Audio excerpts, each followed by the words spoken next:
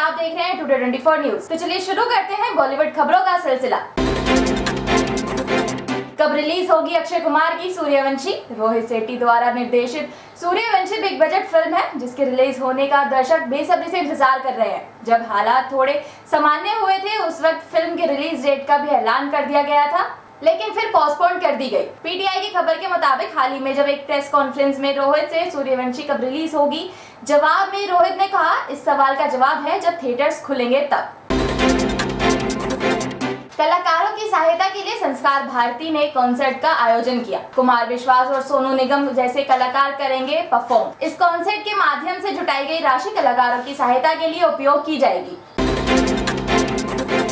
करीना के छोटे बेटे का नाम आया सामने। रिपोर्ट के मुताबिक करीना और सैफ छोटे बेटे का नाम पर काफ़ी विचार कर रहे हैं। हालाँकि फ़िलहाल के लिए बेटे का नाम जहे रखा गया है। अभी तक नाम को लेकर करीना और सैफ की तरफ़ से कुछ भी कंफर्म नहीं किया गया। सलमान खान बहन अलवीरा को चंडीगढ़ पुलिस ने भेजा समन। बॉलीवुड एक्टर सलमान खान और उनकी बहन अलवीरा खान को चंडीगढ़ पुलिस ने कथित फ्रॉड मामले में समन भेजा है। आरोप है कि शोरूम खुलने के बाद सलमान की कंपनी दिल्ली से सामान नहीं भेज रही है और कंपनी की वेबसाइट भी बंद आ रही है। पुलिस ने सलमान और अलवीरा के अलावा सात लोगों को नोटिस भेजा गया है, जिससे पूछताछ की जाएगी।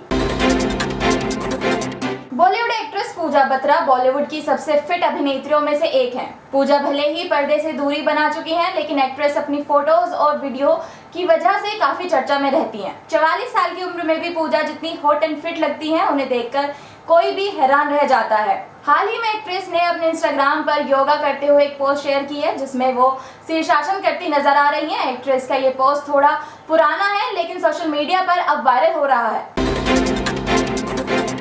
बॉलीवुड की छोटी बड़ी खबरों के लिए देखते रहिए ट्वेंटी ट्वेंटी फोर न्यूज़।